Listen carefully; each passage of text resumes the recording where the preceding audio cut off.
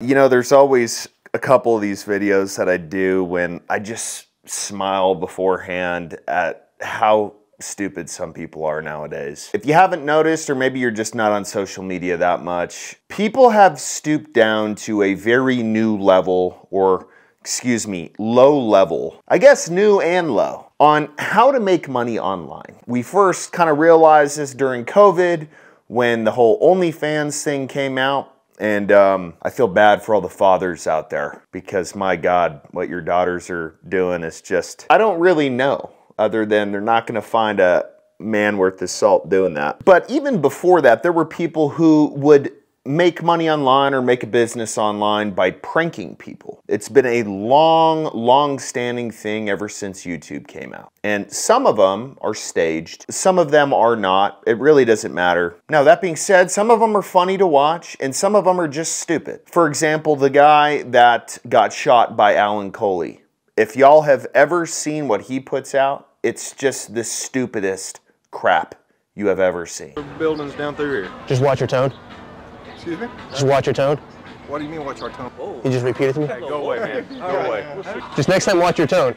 You probably can see it when you go over this. I- It's over to your, you to film? your right when Yeah. you get down that way. Thank you, film? appreciate it. I just next time you need to lower your tone Oh, Why is I, that? I, I, I, I, I, Why is that, dog? I, I, sir, because you're telling me something that's not sir, right. sir, have a good day. But the question has to be asked nowadays with the amount of people carrying firearms. Do these people know the risk that they are taking? Do these people know that most people are not happy with how America is right now and they're on edge and they don't want to be fucked with? Do they know that? So, I'm going to play a video of one of these dudes and without context, if you're standing next to this situation, what are you doing? I'll tell you what I would do after this.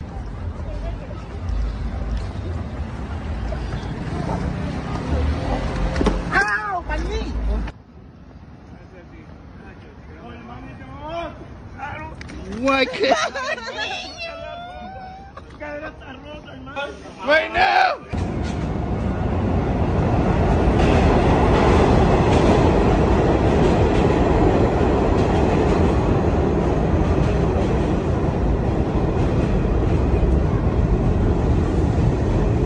Think the uh, first guy was a blind guy. Second guy had crutches. That's real nice.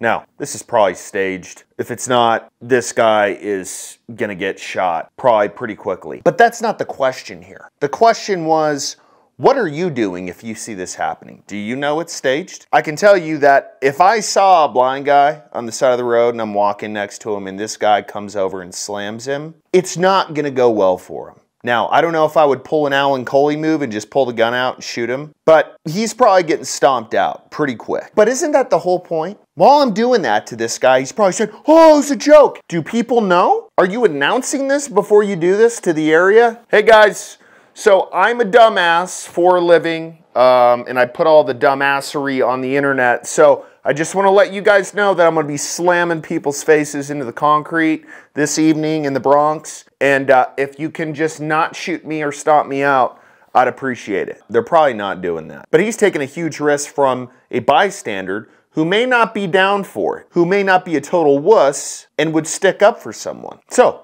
I'm curious as to what y'all would do. If you had no idea what was going on in this situation, you saw this guy slam down a blind person or a person that's dressed up as blind that you didn't know was a joke. I have a feeling a lot of you would at least get in the dude's face and try to defend the guy.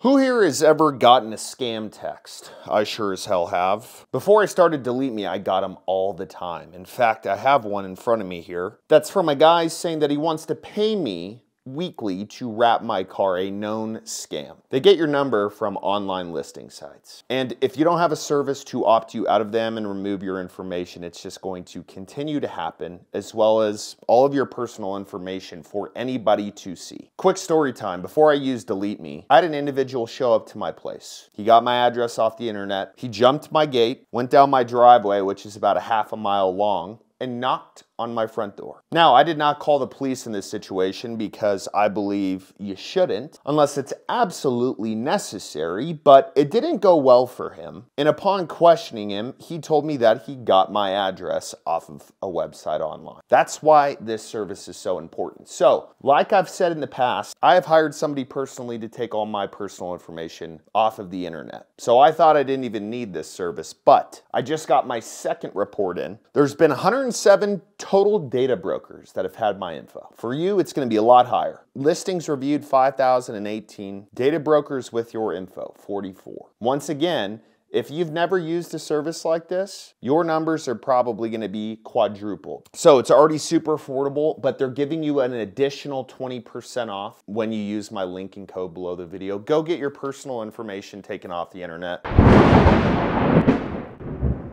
Now, before we go any further in this, once again, the question becomes in today's age, what if you did shoot the guy? What if one of these people got legitimately injured, broke their neck, and their only defense was to shoot the guy? Does a DA charge you? It's like another Alan Colie incident. Do they say, oh no, it was a prank? Well, do people really give a fuck anymore? Where is the line, right? Is all you have to do is just say, well, sir, I robbed the bank, but it was a prank, but I, I still got away with all the money, but it was a prank. Oh, it was a prank. Okay, no big deal. No, you're still doing something stupid. You're still doing something that looks illegal, morally wrong. So, going along with this, this dude has a whole Instagram worth of these videos. Let me watch another one, and if you weren't sure about what you would do on the first round, let me know what you would do on this round.